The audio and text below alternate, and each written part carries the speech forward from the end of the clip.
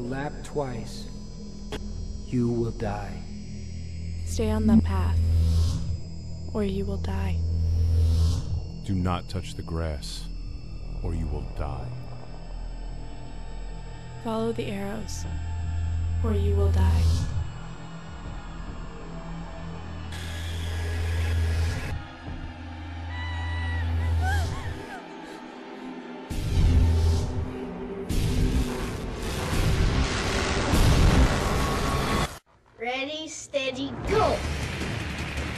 It's set if we're lapped, we die. Dexter, all right?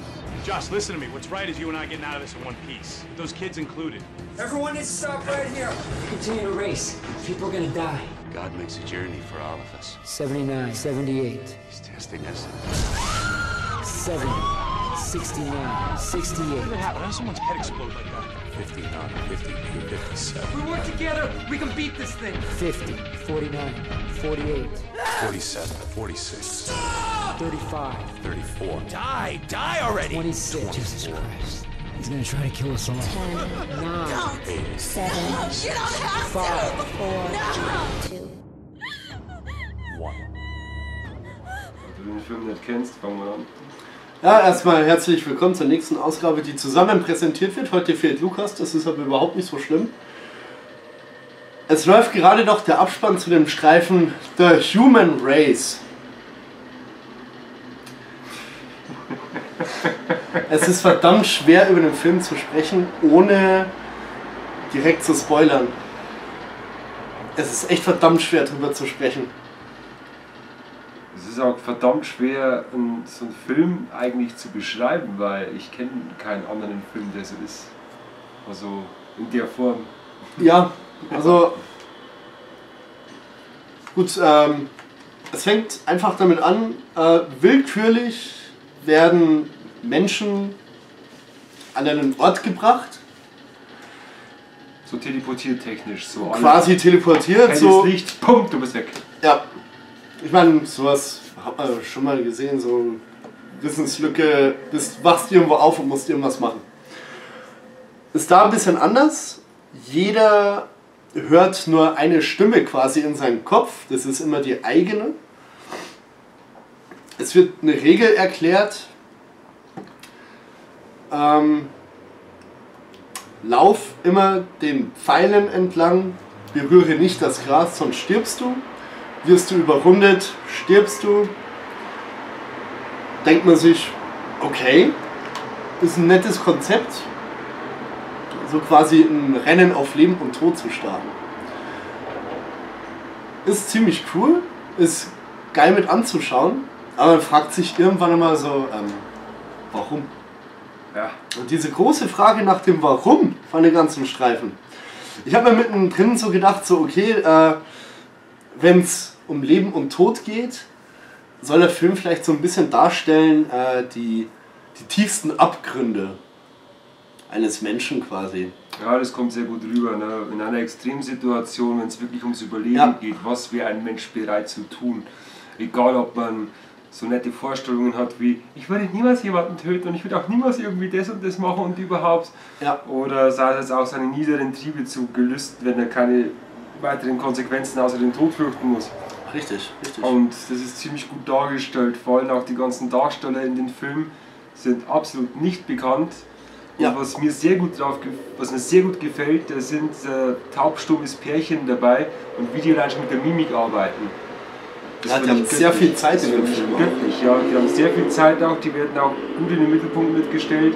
Aber die Mimiken, wie die agieren, einfach schon, was, du hast Darsteller, die sprechen nicht und die können alles bloß mit Zeichensprache machen und ähm, Untertitelt. untertitelt natürlich und halt wie die agieren, die ganze Gesichtsthematik und überhaupt wie Angst dargestellt, ich fand das großartig. Also ich finde ihn wirklich toll. Ja, ich, das, so ein kleiner Wermutstropfen ist, gerade weil der Film sehr unbekannt ist, ist wieder mal so ein Fantasy-Filmfest-Gewinner. Ja, Horror-Festival-Gewinner, Fantasy-Filmfest. Das Einzige, was sich bei solchen Filmen manchmal ein bisschen stört, das ist die deutsche Synchro. Ja, die merkt man voll, dass die, Die, scheiße ist. ja, die ist wirklich kacke. Also ich denke mal auf Englisch, also im Originalton ist er bestimmt besser. Aber da habe ich mal großzügig drüber weggeguckt. Also so die erste halbe Stunde habe ich gedacht so, okay gut, die deutsche Synchro mal wieder haben sie Ja, ja, ja. die Glanzperlen davon rausgesucht. Ja, Aber das vergeht sehr schnell, während man einen Film guckt, weil man ist einfach irgendwann mittendrin und fragt sich einfach, warum das Ganze. Ne? und was wäre es, wenn du dabei wärst? Wie würdest du darauf reagieren? Das Ja, habe ich mich immer richtig, gefragt, wie ich das richtig. erste Mal den Film geguckt habe. Was wäre, wenn ich dabei wäre? Wie würde ich handeln? Na klar, jeder will überleben, der Selbsterhaltungstrieb, der siegt immer. Ja. Aber wie kommst du klar in so einer Situation? Und auch die, die, man muss sich vorstellen, es gibt diese zwei Pärchen, die im Mittelpunkt stehen, dieses taubstumme Pärchen und solche, nebenbei solche zwei GIs. Ja, so äh, Kriegsveteranen, Ja, Kriegsveteranen. Der eine hat halt keinen Fuß, der ist auch vorhin wieder am Cover drauf, der müsste hier irgendwo sein. Ah, der in der? Mitte. Ja, der in der Mitte. Genau. Und diese zwei Charaktere sind aber auch unterschiedlich wie Tag und Nacht. Der eine ist halt voll nett, will Menschen helfen und will halt wirklich versuchen, das Gute in Menschen dabei rauszuholen. Ja. Der andere ist halt wirklich knallhart. Er ist halt schon so ein bisschen gebrochen. Ne? Also ja, ich meine, gebrochen vom Krieg her. Da gibt es Ja. auch gute Rückblenden, die auch zeigen, wie die Charaktere früher so waren oder was sie erlebt haben oder wie sie überhaupt drauf sind. es hat die beste äh, Einstellungssequenz von Ja. der besten Rückblende. Ja. Also gleich ganz am Anfang. Ich war echt entzückt. Und saß da wirklich so da, so, oh, das kam jetzt wirklich überraschend. Ja. Damit hätte ich jetzt nicht gerechnet. äh, ein paar Schluckmomente hat er auf jeden Fall.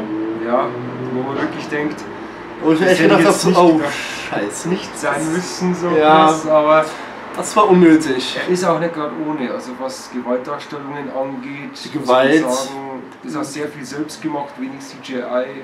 Das finde ich aber auch Ja. sehr gut. Also die haben da schon sehr viel in die Blutkiste gegriffen dabei, ohne auf Computer zurückzugreifen. Finde ich super. Also finde ich generell gut, wenn äh, sowas noch schöne Handarbeit ist. Und das Aria, also dieses Die Arena ja, quasi. Des, des Rennens ist halt wie halt so eine, ja, so eine Kleinstadt mit Waldanteil, wenn man es so nimmt. Das, man muss halt außenrum immer im Kreis rennen durch halt.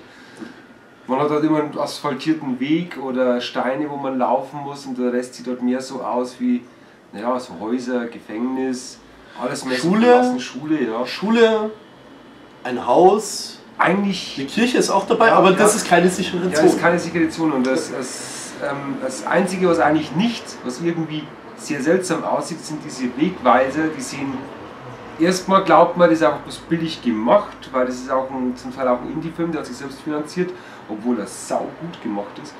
Und man meint erstmal so, hm, das sind aber komische Wegweiser, also was steckt da dahinter? Und im Hintergrund merkt man halt immer, wenn sich die Läufer umdrehen und schauen diesen, diese endlosen Weiten an, dass so komische Gebilde um dieses ganze Areal drum ist. Und ab und zu So bewegt, Turm, sich, ja, ja. bewegt sich außen an einem Turm an der Spitze was. Also es wirkt schon alles sehr bedrückend, unheimlich kalt, verlassen. Sehr surreal. Sehr Also surreal, ja. Wie halt so eine Albtraumsequenz, die irgendwie nicht endet. So kann man es eigentlich Ja. auch ganz gut beschreiben. Das ist eigentlich wie so ein, wie so eine, wie so ein kleines Häuserareal, wo du einfach merkst, so, das gehört sich da irgendwie gar nicht hin. Mhm. Also das, das ist alles völlig deplatziert, soll irgendwie ja, einer normalen Siedlung oder sowas gleichen, aber kriegt es nicht so, so hin. Also es ist sau surreal gemacht alles. Sehr unbekannter Film. Habe ich bis jetzt auch noch keinen zweiten getroffen, der den kennt. Und in meinen Augen auch wiederum ein Film, der hätte es verdient, dass er ein bisschen bekannter ist. Weil er unterhält sehr gut. Er unterhält Ja. wirklich gut. Also es ist kein vergoldeter Film. Und man kann auch garantiert viele Stunden drüber schwadronieren. Also Ja, das kommt auch dazu. Spukt Definitiv. auch immer noch ein bisschen Mhm. nach nach einer Zeit. Also das Ende davon ist sehr überraschend. Also es hat wirklich eine Wendung und eine Auflösung vor allen Dingen, mit Ja. der ich überhaupt nicht gerechnet habe. Also ich hätte wirklich mit allem irgendwie gerechnet, aber nicht so wie der Film endet.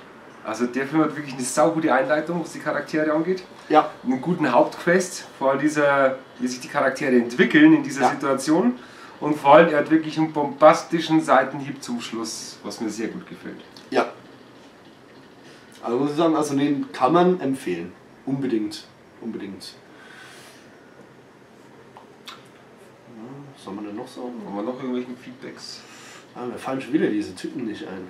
Ah ja. Nerds Playground, genau. It up. Ja. Auch wieder ein Streifen für euch, Nerds Playground, falls ihr den noch nicht kennt. Garantiert nicht, garantiert nicht. Ich bin überzeugt davon, garantiert nicht. Kein Mensch kennt diesen Film. Also ich weiß, dass ihr einen außerordentlichen äh, Filmgeschmack habt, der auch unseren sehr gut trifft. Falls ihr den kennt, so eine Meinung von euch wäre dazu nicht schlecht. Wenn nicht, zieht es an euch rein. Unbedingt. Das ist eine ganz klare Empfehlung. Und auch für, für alle anderen. Also wir haben so ein... Ja, wie ist da... Hinten steht's drauf, eine extreme Mischung aus Running Man, die Tribute von Panem und Battle Royale. Das trifft eigentlich auch ganz gut, wirklich gut. So ein Battle Royale habe ich gedacht, ja. Ja, Die. Gute von Panem ging so vorbei, weil den Ja. mag ich generell nicht, weil das ist für mich nur ein eine Abklatsch Kopie, von das ist bloß eine Kopie Battle von Royale. ja. Und ja, Running Man, doch.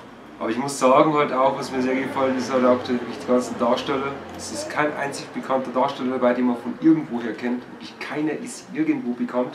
Ja, ich lese nach, ja. Es Ja. ist keiner, der irgendwie damit beworben wird, so bekannt No-Names. aus. Und wie gesagt, dieses taubstumme Pärchen, der wirklich Einbeinige, der Mann hat wirklich bloß ein Bein und wie der Stunts mit den Dingen macht, da gibt es auch Ach, der paar- wirklich bloß der hat wirklich bloß ein Bein, ja. Da gibt es auch ein paar Kampfszenen, wo du echt denkst, fuck, wie kann der Typ mit einem Bein sowas vollbringen? Und das macht auch wirklich echt Spaß, dem zuzugucken. Ich mag Ja. den Kerl ziemlich krass und ich hoffe auch, dass der irgendwo mal wieder auftaucht. Also ich würde mich freuen, wenn ich den Darsteller irgendwo mal wieder sehen würde. Und Also- allein schon, dass es ein Indie-Film ist, kriegt er von mir auf jeden Fall, also wenn es jetzt äh, Schulnoten von 1 bis 6 wäre, würde er von mir auf jeden Fall eine 1 minus kriegen. Einfach nur aus dem Grund, weil ich wissen will, wie es weitergeht. Er für mich ein perfekter Film, auch wenn er Indie ist, auch wenn er selbstfinanziert ist, auch wenn jeder unbekannt ist. Obwohl, sagen wir mal, eine 2, weil die deutsche Synchro so kacke ist. Zwei. Darauf hatte ich nämlich äh, gerade zu sprechen kommen. Ja. Also Indie-Filme müssen nicht schlecht sein, das beweist der verdammt gut. Er hat mit wenig Finanz, finanziellen Mitteln eigentlich hat er echt was verdammt Gutes rausgehauen. Und auch mit wenig äh, Equipment, wenn man so nimmt, weil die Stadt an Ja, sich. ne, richtig, weiter. richtig. Ja, man hat mit ganz wenig, ganz großes Technis gemacht und das finde ich echt gut. Ja. Aber wirklich der ganz große Punkt dabei ist halt wirklich die deutsche Synchro. Also wenn man den empfiehlt, Ja. lieb, lieber auf Englisch gleich angucken mit Untertiteln. Nimmt zwar manchmal was weg, weil man zu sehr darauf konzentriert ist. Ja. Aber das ist man auch bei den taubstummen Sequenzen. Ja, bei Taubstumm. Aber ich muss aber auch sagen, die zwei Haupt, die zwei Hauptmarines da, da, also die Ex-Soldaten, die haben sie eigentlich Ja. einigermaßen gut synchronisiert. Die anderen Darsteller, die gehen halt einfach bloß einer am Sack. Wenn man da Ja. drüber hinweg gucken kann, dann geht es eigentlich ganz gut.